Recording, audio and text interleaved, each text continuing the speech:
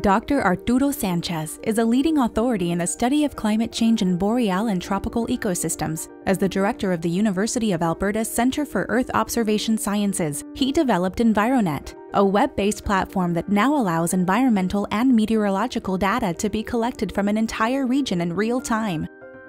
What EnviroNet does is connects to hundreds of sensors that we have uh, distributed in the forest. The sensor sends a lot of information, streamlining into EnviroNet and analytics provide us with information about how this forest is responding.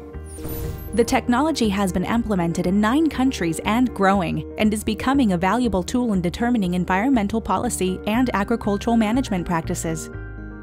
The 2015 ASTech Award for Outstanding Achievement in Environmental Technology and Innovation Dr. Arturo Sanchez.